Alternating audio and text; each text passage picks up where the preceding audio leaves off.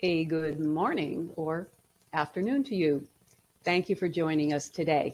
I'm Jan Reichert, Executive Director of the Antibody Society. Today's webinar is one in a series designed to inform and educate our members, as well as the broader scientific community about topics relating to antibody discovery and development.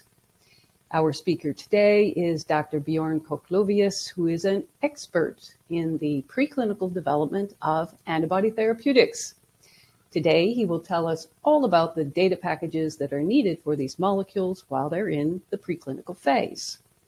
Before he educates us on this topic, though, I'll take just a minute or two to show you a few graphs meant to put this information in the context of what happens next hence the title of my first slide, Preclinical Development of Antibodies, the sequel. Please note, the webinar is being recorded. My slides, as well as the slides from Dr. Cochlovius, can be downloaded from the Materials tab in the viewer. Please do add any and all questions to the Q&A box in the viewer, and Dr. Cochlovius will answer these at the end of the webinar. So let's start with the sequel to the main event if you generate a successful pre- preclinical package, you will join a large number of antibodies that are already in the clinical pipeline, or your molecule will. So first you'll have the evaluation at phase one. And as you can see from this graph, you'll have lots of company as some 465 unique antibody therapeutics are being evaluated at that stage. If all goes well, then the molecule will enter phase two, which is also a bit crowded with over 300 molecules that are at that stage. If all goes well again, the molecule moves on to late stage studies where efficacy is hopefully established. Relative to the numbers in phase one and two, the number of phase three may look a little bit small to you, but I can assure you that historically speaking, that is not a small number. And I can tell you that with some authority because I've been tracking the late stage pipeline of antibody therapeutics since 2010 and writing an article every single year. The Antibodies to Watch article series was started in 2010 by documenting 26 antibodies that were at that stage at that time. I am working with my co authors now on the subsequent antibodies to watch in 2022 paper, and we are documenting some 115 antibodies. So 115 is not a small number to you, and you can tell by this graph here that uh, it is a enormous increase from even just as recently as 2010. So really I want to congratulate everyone for having done such a great job and getting these molecules through the process. Now, if you're successful in phase three, of course, or late stage clinical studies, hopefully your molecule, molecule moves on to regulatory review and potentially a first approval in either the US or the EU. And here again, industry has done very well. We are projecting at the moment nine approvals to occur in 2021 in either the US or the EU, slightly down from 2020 but certainly within the range that I consider very good, which is six molecules to, well, to infinity if we could really get there. But uh, the record high so far has been up to 13. And I've been very pleased now to see that we've been hitting this minimum, or what I now consider the minimum, of six approvals every year since 2014. With this last slide, I just want to remark on um, the number of approvals, if you look at the cumulative totals, which are shown in this slide, you can see that we have passed that milestone of 100 approvals in the US. And this was remarked on in an article put together by Asher Mullard that was published in Nature Biotechnology just a little bit earlier this year. And I am pleased to say that the Antibody Society provided most of the data that's in the graphs and tables of that paper. We're expecting the European Union to follow along relatively shortly. Hopefully next year they will also pass that same milestone. So again, Excellent work, everyone. Very well done. We are uh, getting molecules into the clinic, into regulatory review, and through to approvals at a very good pace. So with that as a little bit of background, uh, and uh, we will now, I will now pass things over to Dr. Cochlovius to tell you how to get your molecule into the clinic. Yes, thank you, Jen, uh, for the introduction and for uh, paving the um, the road to um, to this topic. Um, my name is Björn Cochlovius. Um, I'm um, I have been working in the antibody fields uh, since my student times, and uh, um, I have uh, worked in in small biotech as well as in big pharma, uh, including Roche, and I have uh, now currently I'm um, as an advisor uh, and consultant. I'm chairing three companies and I'm CEO of a fourth company. So uh, I'm not uh, hands-on anymore on the preclinical development or clinical development, but still I would like to introduce you today to the topic because it's a very important topic um, um, that will uh, make or break your your project already quite early in uh, in your work and it's very important that you plan ahead uh, um, very carefully and that you follow a certain path also very carefully. Um, so let me let me walk you through it. Uh, the, the first slide, uh, just uh, something that is also related to what Jan said before. So you can see that over the years, this year is looking at therapeutic antibodies uh, and their history. that over the the years, the uh, the number and uh, of, of therapeutic antibody was increasing very fast, uh, and that also the importance uh, and the clinical impact of uh, um, of therapeutic antibodies on on the treatment of diseases was immense. Uh, nowadays, you can't think about oncology anymore uh, oncology uh, uh, therapy without having a couple of antibodies in your mind immediately. And also over the years, ad additional um, indications came into uh, came into the picture, like autoimmune diseases, for example, etc. You know the you know the story, but just to make it uh, clear again, how important uh, the antibodies have been have been becoming in the last years. So if you look at the drug development process for antibodies, this is of course very, very um, uh, simplified here. You have certain packages, so to speak. You have the discovery and the development phase. In the development phase, you have uh, the time where you focus on clinical trials. You start usually off with identifying your compounds or a couple of compounds that are interesting for you. You test them, um, for example, just binding to the target molecule, etc. Um, and then comes the most important points. Uh, you select your clinical candidate and you perform your IND enabling package, which will allow you to come into the clinical phase. And today we want to focus on these two packages here because they are very crucial to uh, um, for your project. If you do any mistakes here, you will not be able to enter the clinical phase. I mean, this is, as I said, a little bit oversimplified but uh, you should keep it in, in mind. In reality, uh, the reality, of course, is more complex uh, in life, and uh, uh, sometimes it feels more like this and not like this here. And uh, but don't um, don't be afraid. It's not that bad if you follow certain rules and you have uh, good advice from people who went through that process before, then uh, um, uh, you should be able to navigate that process. So uh, let's start with the first phase, hit to lead. So congratulations, you have some hits from uh, your screening process. What are you doing next? So the first step uh, is hit to lead. Make your out of your hits some leads. So you generated some hits, for example, uh, using phage display or other display technologies uh, by immunizing animals or other uh, other methods, and you have now a, a, handful of antibodies in your hand that bind to your uh, to your target molecule X, and that you would like to look at uh, more closely and uh, develop them further. So the first thing you do is you sec- you have to select lead candidates with the desired function, obviously. And here, and this I want to stress, uh, you have to rely or, or, to look at your TPP, your uh, target product profile.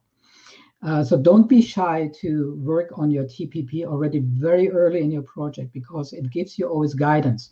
Your TPP, of course, is not a document that that is unchangeable. It should adopt. You should adopt it over the time, uh, obviously. But your TPP gives you guidance in uh, how you want to uh, to develop your your your your product, uh, what features uh, your product uh, should have. So here already, er, quite early, you have you are forced to make up your mind. For example, whether you want a, a strong binding or only immediate binding to your target molecule, um, whether you uh, you need certain uh, uh, uh aspects um, uh, like pH uh, resistance or that it works in certain environments, etc. So very early in your project, you need to think about um, how your your final product should look like, so that you are now in this in this early process already able to to design your experiments and to um, to steer your candidate selection into the right direction. So this is really critical. Your TPP, do it as make it as early as possible. Your first your first uh, version. So in you you will select the candidates uh, looking at uh, biochemical, biophysical properties like binding to the target, like uh, a target specificity. Uh, um, specificity. Is it enough that uh, it binds to the main target and uh, just a little bit stronger than to similar targets, for example. Um, or is it for uh, another question? Is it for you very important that your uh, target that your binding is um, is happening only uh, in certain tissues of the body and so on? So this is very important that that you test this already here, and you have to to design the tests according to these questions. You will look at expressibility, of course, because uh, an antibody that has a good binding but is uh, a nightmare to express is maybe not the right candidate for you to work on.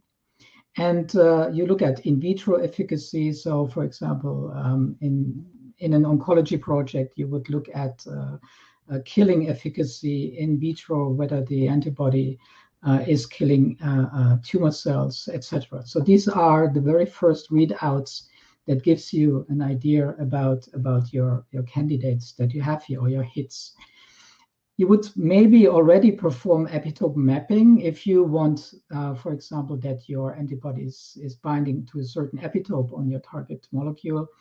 And you could and maybe should already induce here uh, um, um, small animal uh, testing program. I mean, if you have like five or six hits or maybe 10 and you want to collect out the leads here, you looked at the bi- uh, at all these uh, properties and you maybe have reduced the number to half. Another step that helps you to funnel down the number of your, your molecules is that you look in an animal model, for example, for tumor killing uh, in vivo efficacy. and then you have very early already proof of concept, which is um, if you are working for a biotech company, which is uh, uh, imp- an important thing because it would already lead to an increase of the, the valuation of your, your company because you have here relatively early then already quite important data that you can show to potential seed investors uh, or so you could show them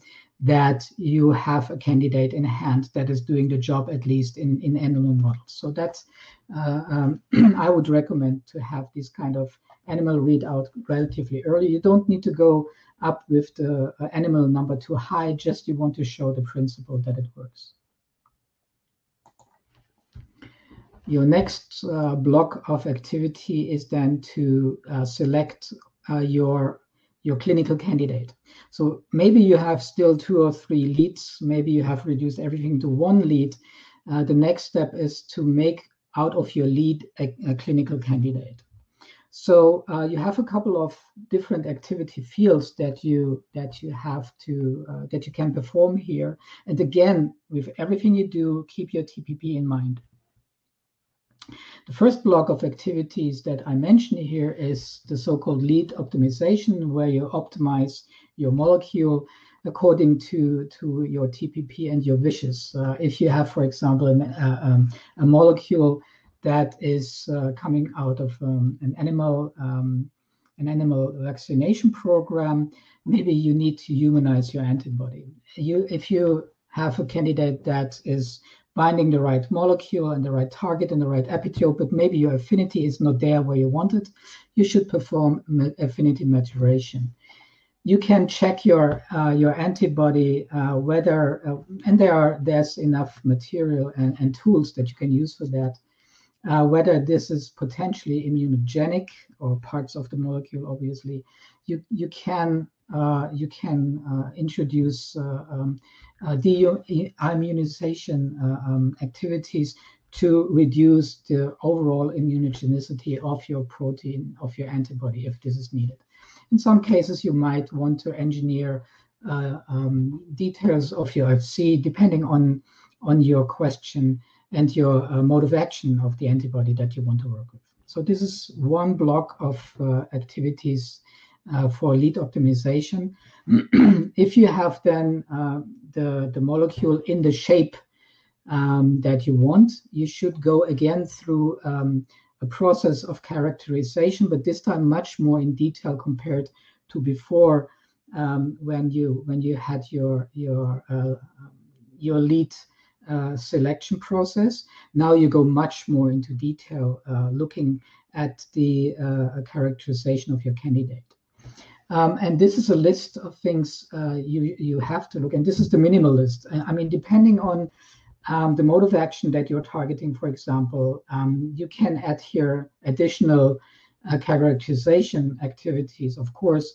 But this here is the minimum that I believe uh, every antibody candidate should go through.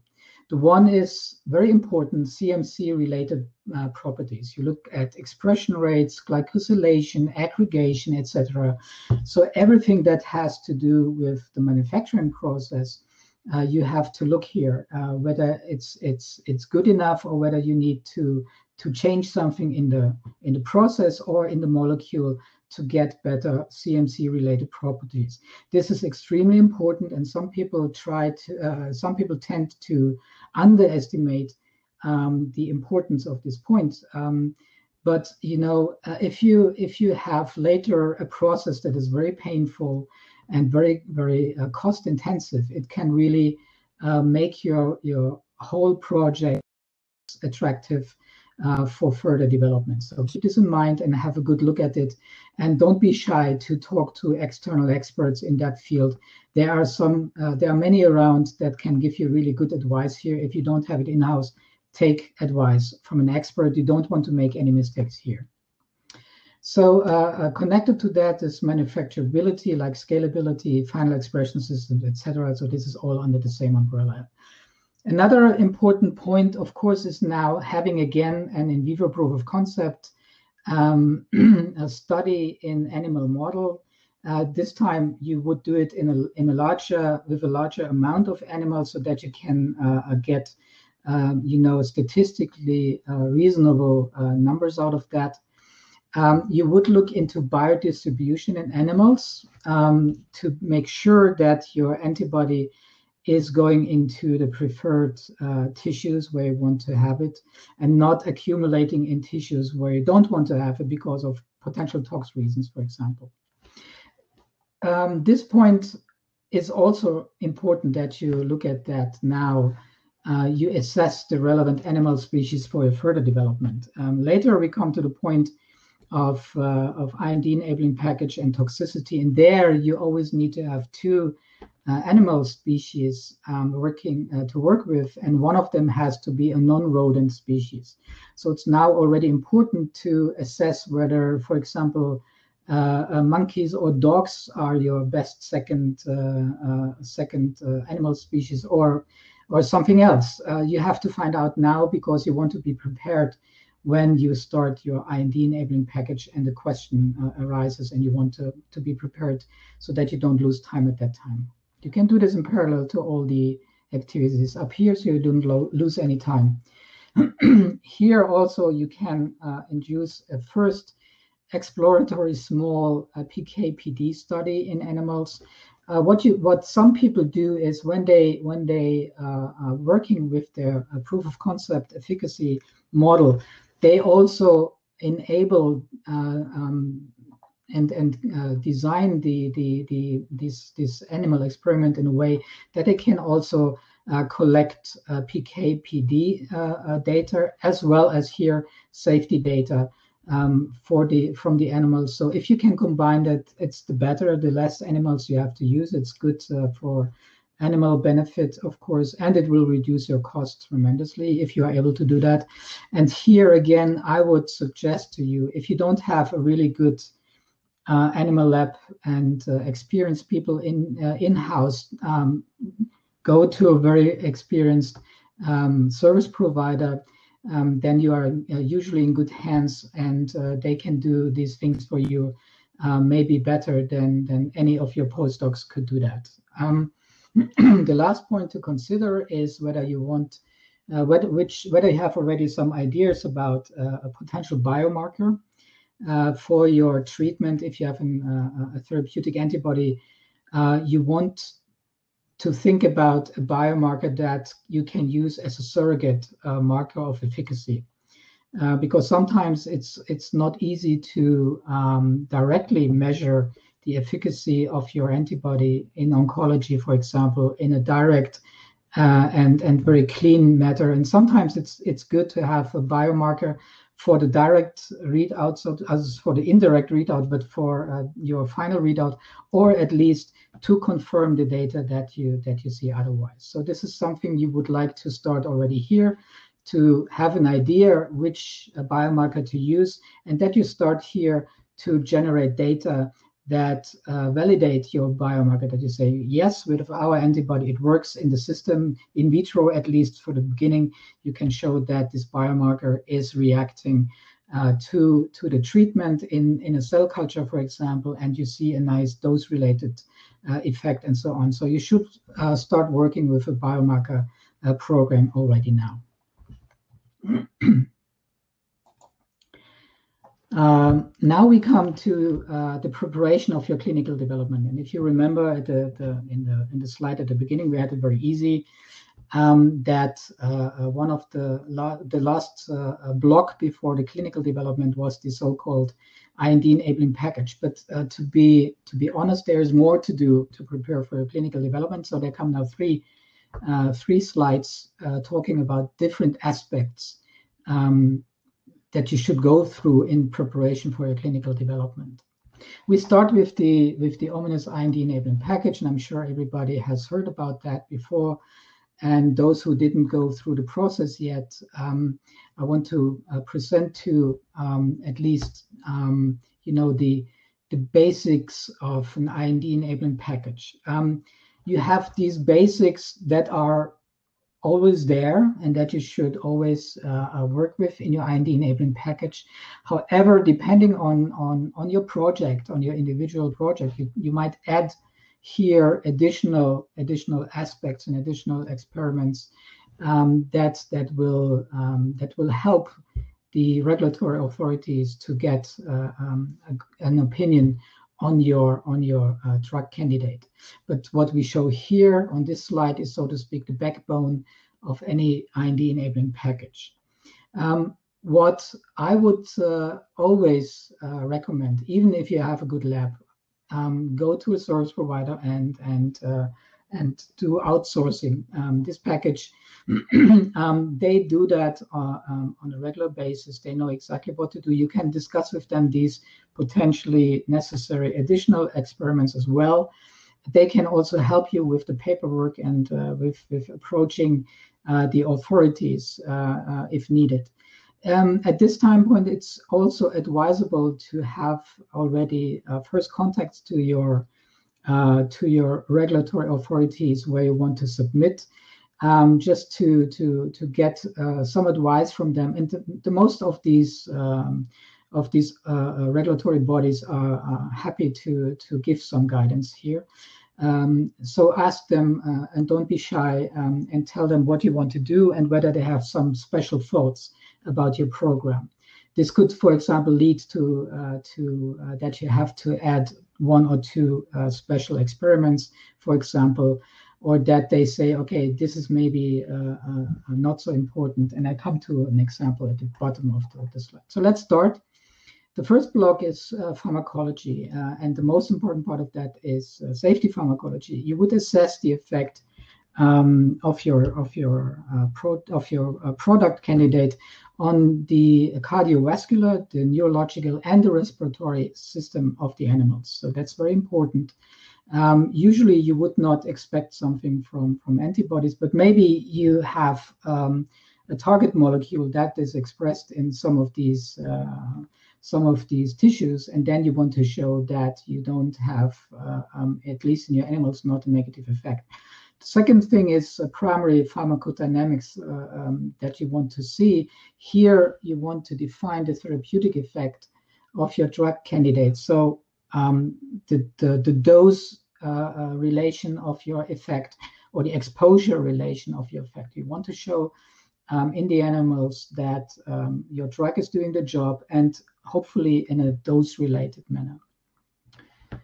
The second block is uh, PK, pharmacokinetics. Um, so first you would look in in vitro. Um, you can start with that. Uh, um, you look at uh, whether you have some um, metabolism, the, uh, metabolites, usually this is not the case, but still uh, um, you should look at it and, and, and, and show the data.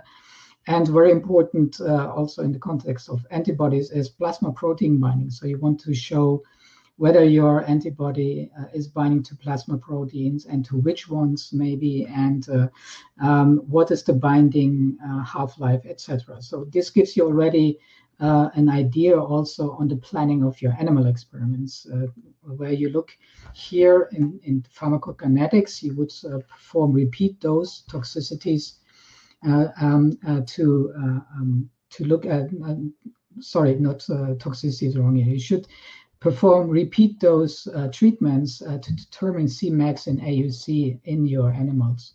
And then you look at ADME, um, if you if if it's uh, if it's advisable and this is a, a, question you can ask your authorities when you talk to them already here uh, whether they want to see they, uh, these data now already or parts of it or whether they want to see it later coming from from human uh, um, from human uh, data so uh, sometimes this is waived um, um, sometimes you have to show it. So this is one of the questions you could ask the, the authorities. The third block is, um, is that you look at acute toxicity. Um, a single dose, uh, it means in two animal species, one of them, as I said before, non-rodent. And this has to be performed in the clinical route of administration. So if you plan, for example, um, to have later um, and in IV. You should also look, you, it has to be done in IV here, and it has to be done in a second parenteral route. So in that case, maybe uh, in a second in a second experiment, you would uh, apply it uh, subcutaneously. Um, here also you would do repeat dose toxicity and uh, what what uh, uh, can be done uh, uh, sometimes, and that's why it slipped up to here. You can sometimes combine these uh, experiments, repeat dose tox and um, repeat dose injection for Cmax and AUC into one experiment. Um, with so you you you can um, spare some time here. Um, you would look uh, into uh, uh, into um, uh, different doses, dose regimens. You know, you would uh, increase dose levels, for example, in your in your uh, injections, and you want to determine no AEL, um, which is no adverse effect level, and MTD in your in your animals. Um, so this is this is an important data point or important data points, both of that. Uh, NOAEL means just how much can I inject into the animals until until I as and I don't still don't see any negative side effects. Um, and the MTD is, is basically something similar. Uh, um, what is the maximal tolerated dose? And and this this is very important for your planning of your your the dose that you would uh, select for your for your first in human trials. So um, these these data are very important, and you have to uh, to be sure uh, and to make sure with your with your design that the data that you get out of that are in a way that you really can use them. So they have to be clean and they have to uh, they have to be clear also with their endpoint. Um, and uh, uh, because this is, as I said, this is uh, uh, necessary uh, for the calculation of your human doses that you would use. You could look here maybe into mutagenicity, which is usually not use, not not necessary for antibodies. Same for embryo fetal toxicity, depending, but this could depend on your target again. Uh, immunotoxicity, this is something that is more important uh, to look at with antibodies. And you did, this is another point that you discuss at this point in time with the regulatory authorities. Uh, they will give you advice what they want to see and whether it's, for example, fine to, to bring these data later um, when you are running a phase three trial already or so, because uh, these two with antibodies uh, are more formalities and in most cases, except you have a special target that might have embryo fetal effects or so. Right. The second, uh, the second aspect that you need to look at to prepare your clinical development, obviously, is CMC. And again, as I said before, sometimes people underestimate the importance of this. Um, not is it, it is not only time consuming work on this on this package it's also uh, quite complex. And uh, uh, um, also here in many cases it's advisable to take the advice from uh, outside experts uh, into your company um, if you haven't uh, gone through this process before. So um, you know during your your early work your discovery and also during long stretches of your non-clinical work uh, that we talked about before, it's okay to work with non-GMP material, obviously. But now that you come closer and closer to your clinical phase, you need GMP material, obviously. You need already GMP material for the uh, animal experiments in your IND enabling package. So you have to be prefer, uh, prepared. And, and uh, I don't want to go in, into the detail here, but you know the, the, the points to consider, you have to, to create your master cell line um, and, and you know uh, get, uh, get a good backup and storage, etc., to make sure that you always can go back uh, um, if, you, if you need to produce more of your material. Another one is that you establish a manufacturing protocol that is your final protocol that you can write a patent about, um, for example, to help create a fence of IP around your, your product. And one interesting part of that IP fence is always uh, manufacturing. And uh, so if you have your final product, send a, submit a, a patent for it. That makes sense um, you have to establish the way you want to upscale your process because uh, if you want, if you have to uh, uh, to uh, create clinical batches, you need to to prepare for that in time. You have to have uh, a manufacturer who's doing the job for you, uh, and manufacture and and, and etc. You have to think about what I just said, getting GMP ba batches produced also your first clinical grade batch, um, and uh, that's that's that's very important. In parallel, you have to do things like stability, uh, uh stability, stability tests, uh, and and and and, and uh, such things that are very important for you, and the authorities also want to see these data. Then maybe the the, the should be a three here. Apologies for that. So the third block in the preparation for a clinical development is documents and, and additional data and, and all that that I want to summarize here.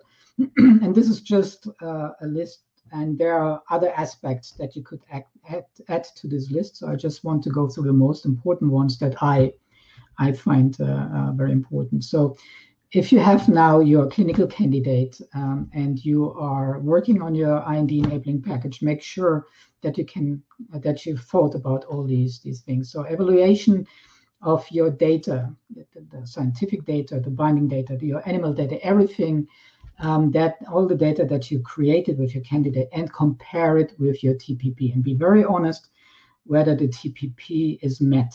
And if it's not met, then uh, um, you should think about whether you still you want to go back, do some homework again, or whether you can change the TPP um, in a way that is not harmful for your project. So you really have to be sure here and have the right uh, the right uh, um, confidence that uh, the candidate that you have is the right clinical candidate.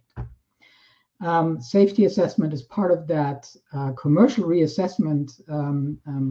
So now, uh, since you started with the project, you are now um, a couple of years along the, the line again. So latest here, you should look again into your, your business case. Um, has something changed on the market? Are there now other antibodies in, uh, that are targeting the same target and uh, uh, indication, for example, that are ahead of you? And uh, if so, what how strong are they as competitors? How far ahead are they of you? And uh, what could you do? You should think about it that uh, here now. What could you do to uh, uh to uh, to to show that your antibody is special and maybe you have some you you create some plans uh, that your antibody is not looking like one of the others but showing some specialties. Um, you need to have your final legal evaluation. So latest at this point, I would recommend to get an FTO analysis, a freedom to operate analysis. So hire a good uh, patent lawyer. He will have a look around in the uh, patent uh, uh in the patent universe and telling you yes to the currently available information. Uh, the uh, the field you intend to work with your product candidate is free for you to operate.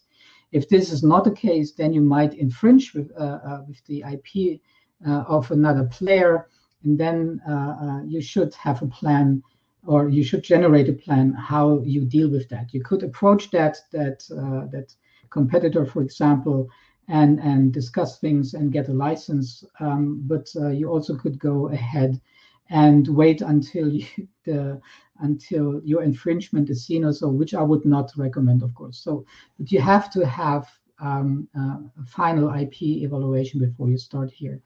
Your clinical strategy, including uh, logistics, uh, CRO selection should be in place um, at a right time before you start with your clinical development. And also, of course, your clinical development plan should your biomarker plan, we work, you worked on your biomarker before, we touched that briefly. You should have a plan uh, how you would um, look at your biomarker in the clinic. For example, that you say, okay, we want to uh, take blood samples 5, 10, and 15 as an example, and analyze there our biomarker. Um, so, but you have to have a plan for that. You need to know um, when you want to take blood, how much blood you want to take, etc., and how you want to analyze it, um, which labs to use for the analysis, etc. Your regulatory planning, of course, needs to be in place, um, including the pre-IND meetings that I mentioned already. Um, you have to think about uh, uh, um, the label, etc. You need to be have everything together um, for uh, to to approach your regulatory uh, um, um, authorities where you want to submit. And then again, back to manufacturing, you need to have your manufacturing homework done. You need to know how to manufacture, where to manufacture. You need to have an idea how much material you need at what time points during your clinical trials etc., etc. So there's a lot, a lot, a lot to think about. And also, already, although it's quite early, you should start thinking about your your product. So at the beginning, you can be you can be low tech uh, regarding fill and finish, but later at a certain time point, maybe uh, for phase twos, um, latest for phase threes, you need to have a proper packaging, uh, including a label and everything uh, uh, and the proper uh, fill and finish. Um, so bottles, for example, if you want, if you go for liquid, etc. So you have to have this at least some of these things have to be in place before you start with your clinical trial. Some have to be planned way ahead still. And this now, just at the end, uh, um, is something that, um, as a if you're, if you are a small biotech company, you always have to uh, keep in mind. And this is cost and company evaluation. So uh, I don't I don't want to give the impression that here cost and company evaluation are are the same, so the numbers are very different, but they they move a little bit in a similar way. So let's have a look at the costs first. So in your discovery phase, the costs they they are moderate, they are increasing, but it's still you know you can handle that. Then the IND enabling package, that's that's really a, a, lot of money that you have to bring up. And then obviously your clinical trials, they, for that you need really a lot of money. So you, if you keep this in mind, you have to you, you, you can plan ahead um, your uh, your fundraising so that you know okay I need to to raise that and this and that amount of of money uh, at this time point to be able to pay for uh, for my activities, and that's very important to have an idea about that uh, in time. Um, in but the good thing is also that the more data you create in your different activities, the more value um, you create uh, in your company. Interestingly, the value creation from the beginning to uh, to have a candidate selected is moderate. So I wouldn't suggest to sell your company here because you didn't make much money or much, you didn't create so much value yet. Interestingly, the IND enabling package and even the phase one, they increase your value, but not so super much. So if you want to really uh, um, to really think about a possible exit, uh, the really uh, po- the po- time points when you have increased the value of your company really tremendously is uh, after phase two when you have uh, proof of concept data, when you can show, yes, my antibody is doing its job, it's killing tumor cells. I have an overall response rate of X, Y, Z, and um, um, and you know you can show survival data, etc. This is an immense jump up of your value of your company, and the most the most exits exits are actually done here. You could of course also go and uh, perform a phase three but usually this is so cost intensive that uh, you do this only uh, with a, a, big, strong partner pharma company, for example, at your site. So this is just uh, to give you um, this kind of flavor um, where in this in this uh, uh, um, in, in this process in this process chain your value and your costs are moving. So that was that from my side. Um, again, my name is Björn Cochlovius. Um, I'm an independent consultant and I'm not doing only uh, um, drug development strategies and help biotech companies with that. I'm doing also uh, fundraising, uh, uh partnering. Um, I'm I'm chairman in three companies and I'm CEO in a fourth. And uh, um, one of the most important things I believe and I'll enjoy always is to get to know new people and to network because um, this is such an important field we work in. I believe it's important that we exchange knowledge and experience to make to create better drugs for our patients. So thank you so much.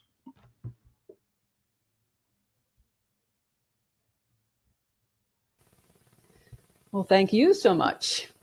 We do have a few questions. Let me just start with the first one, which is what are the analytical methods to be developed for PKPD, biodistribution, etc.? Okay. Um, there are there are a number of uh, different possibilities. Let, us look at biodistribution. Um, um, some of these you can do uh, in your lab in case you have a small animal facility in house. Uh, these are uh, labeling your antibody and then taking uh, uh, taking images, whole body images of your of your animal. If you have, for example, um, what I always like to do, um, if it's easy um, and low cost, you have try to find an an academic uh, collaboration partner who maybe has the possibility to put your mice into uh, into a CT or so, and then you look at uh, the pictures. You uh, you can see there um, depending on the label you have then to use different imaging uh, technologies. And there are a couple. You can you can choose uh, radioactive labels non-radioactive labels uh, etc it depends also on the the grade of um, um, how you say um, how how how how well you want to uh, to uh, to um, to test that. Um, so this not a specificity. Sorry, I'm blanking on the English word now. how how low you can go with the um, uh, with your um, with your binding to still see a picture. I'm just blanking on the on the expression. I'm sorry for that. Um, so the more uh, um, fine tune uh, you want to your system, also you can choose different methods for that. Thank you very much. Next question. What is the extent of exploratory PKPD and tox that you would do mm. in lead um, compared to a candidate?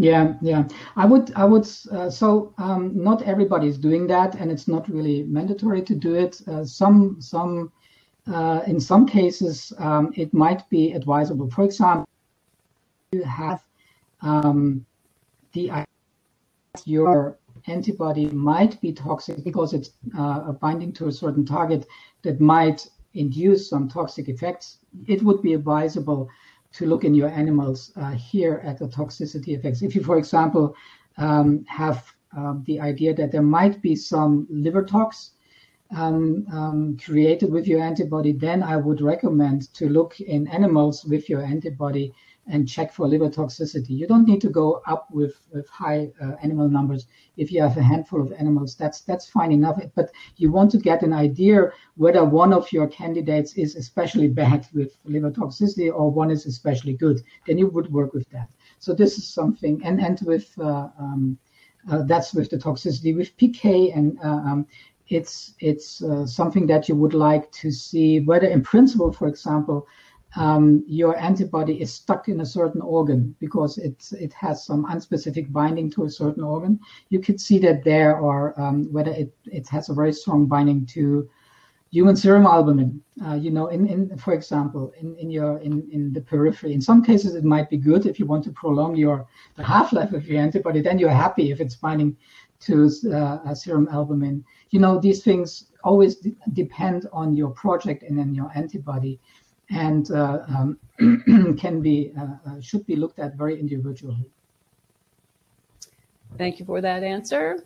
Next question. In general, how long after your candidate is selected does it take to complete a basic IND enabling package?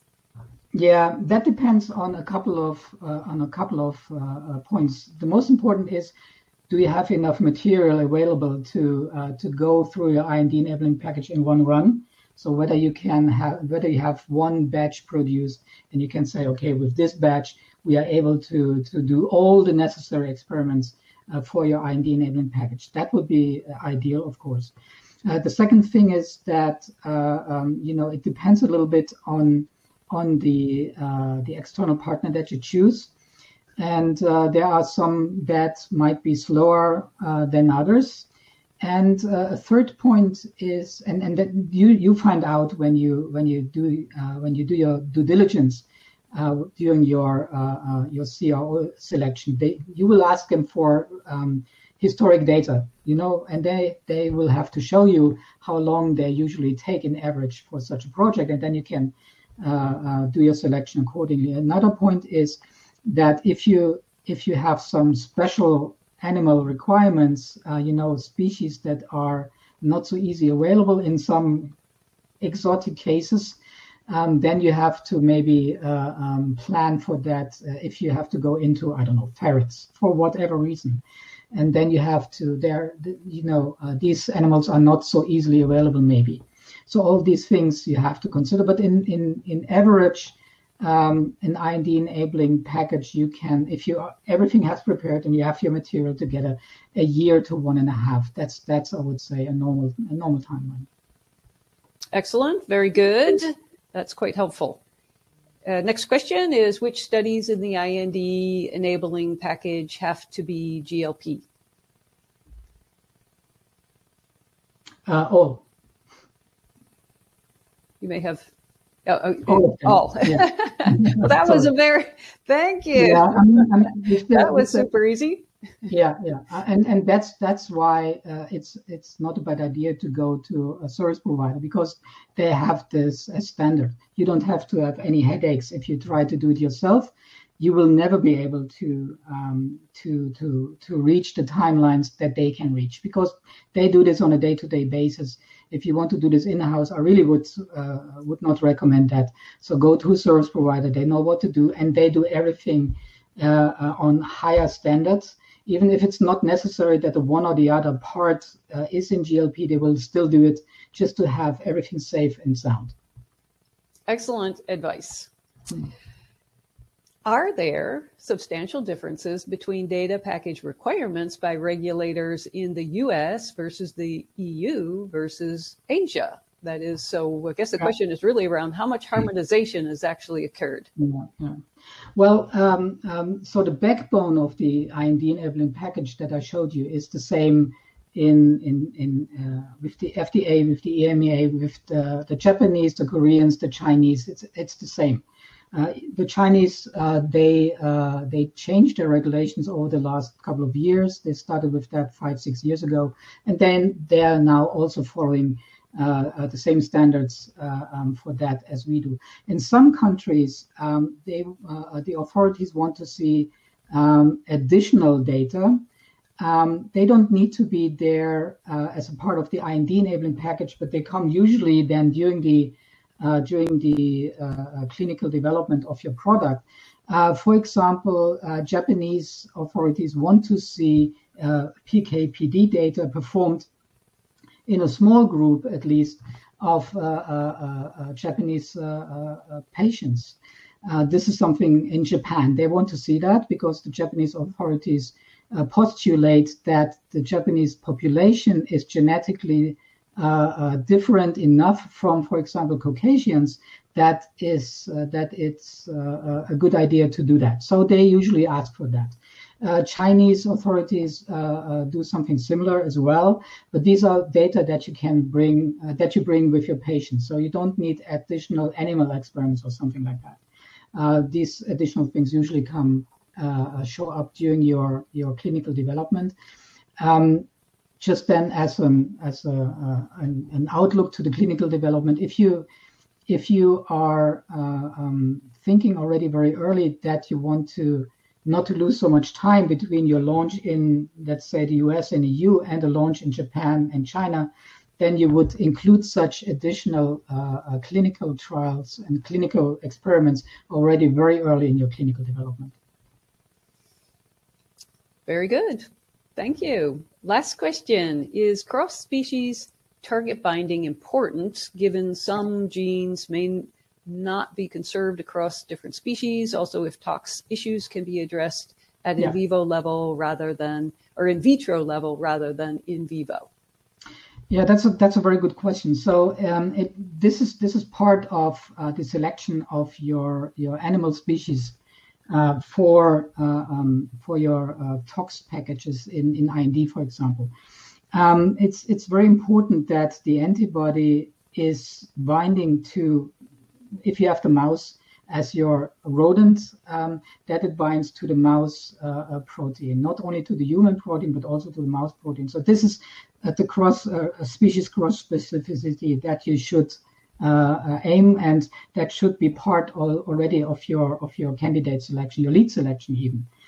Um, the the the uh, uh, also it's it would be it's necessary um, or it's it's beneficial that it binds to a second a second uh, species. For example, cynomolgus monkeys.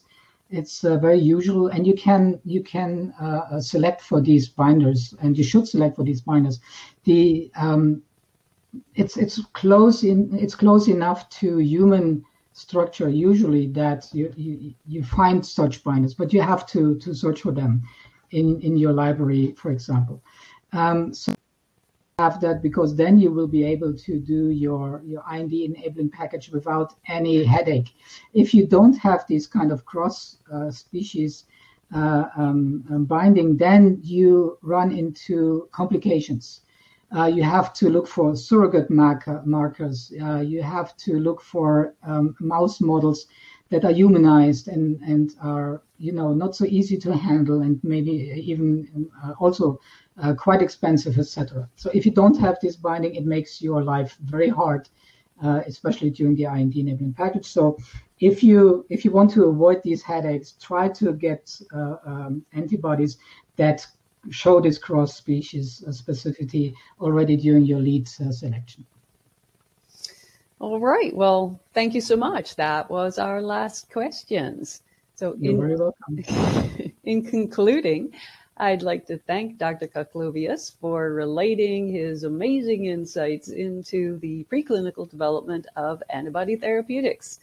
And thank you very much for joining the webinar today. An on-demand version will be available in a few days. I will send a link to it to everyone who registered.